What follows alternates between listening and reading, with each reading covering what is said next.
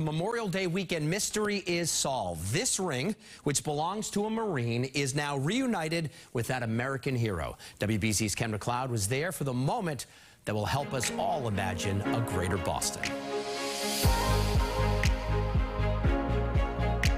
Wanyoike Wanina strolled up to Whitman Police Headquarters tonight to retrieve something he thought was lost forever.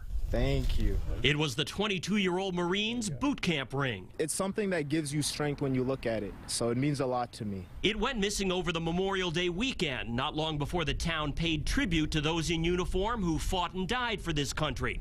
A Good Samaritan brought it to police Sunday, saying he'd found it near the basketball court on the town common. A lot of good people that want to do the right thing. Especially on Memorial Day weekend, you know, finding something like that and, you know, having the heart to bring it to the police station was so nice. But a post on the PD's Facebook page didn't yield a single clue, and Lieutenant Dan Conley was determined to reunite Ring and Marine. So this evening, Lieutenant Conley called the nearest Marine recruiter here in Brockton, read them the boot camp graduation date and platoon number inscribed on the inside of that ring, and bingo. I was actually able to look it up in our system. We only had one kid from Whitman Hanson that graduated in 2020. Within 30 minutes, Lieutenant Conley was knocking on Wanina's door. He was home and he said, I did lose my ring.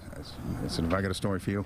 Turns out Wanina played hoops here over the weekend, and that's probably when the ring tumbled into the courtside grass. It really means a lot for me, and it really tells me a lot about the people in Whitman. It's great to have a happy ending. Indeed, mystery solved in only 48 hours, just in time for this reservist who heads to California next week for his annual Marine refresher course. Take care. Thank you.